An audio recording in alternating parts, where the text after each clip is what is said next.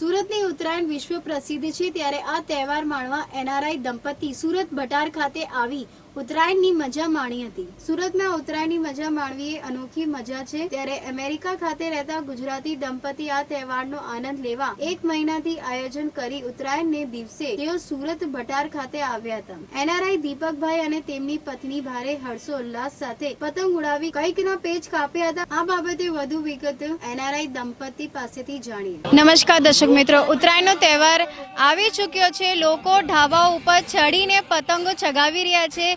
કંઈક કાયપો છે એનો અવાજ આવે છે તો કંઈક ઓ શેટ એવો અવાજ આવે છે કારણ કે તેઓની પતંગ કપાઈ ગઈ છે.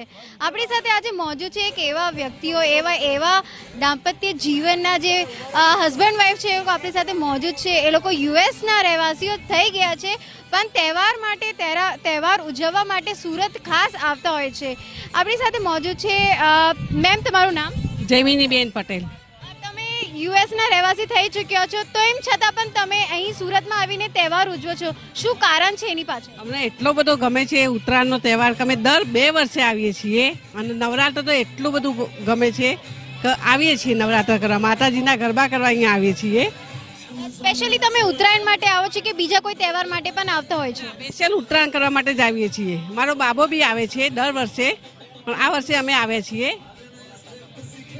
કેટલા સમય સુધી તમે અહીંયા રહ્યો છો અને કેવી રીતે આ ઉત્તરાયણનો જે તહેવાર છે મનાવો છો? અમને બહુ અમે અમે સવારથી ચડી જઈએ ટેરેસ પર ચીકી બનાવીએ બધું એન્જોય કરીએ છીએ. અને સવારથી સાંજ સુધી અમે ઉતરતા જ નથી નીચે. રાત્રે ફોનસ ચડાવીએ છીએ ફનસ. દીપકભાઈ કેવો અનુભવ થઈ રહ્યો છે અને શું મંતવ્ય છે ઉત્તરાયણ ઉત્તરાયણમાં બસ મજા કરવા આવીએ છીએ અને ઉત્તરાયણ પતંગ ચગાવવા આવીએ છીએ. શું કારણ છે? તમે તહેવાર માટે સુરતમાં કેમ આવો છો? અમને અમને તહેવાર પસંદ છે. અને અમે કયા તહેવાર માટે તમે ઉત્તરા સુરત આવતા હો? નવરાત્રી અને ઉત્તરાયણ માટે ખાસ. કેટલા વર્ષે વર્ષે તમે આવો છો? દર બે વર્ષે. દર બે વર્ષે. કેવી રીતે ઉજવો છો અને કેવો ઉલ્લાસ આજે જોવા મળી રહ્યો છે તમને? એ તો તમે અહીંયા જોઈ રહ્યા છો કેવો ઉલ્લાસ છે તે. બસ એવી રીતે જ મજા કરીએ છીએ. અ, સ્પેશિયલ કાળજી આજે ઉત્તરાયણ માટે શું રાખશો? શું રાંધશો?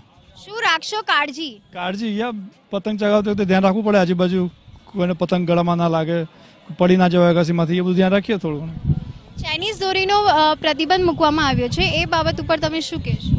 યા એ તો બરાબર છે જે આપણી ગુજરાતમાં જે દોરી પકવતા હોય છે એ જ મજા આવે છે. એમાં જ સારી મજા આવે છે.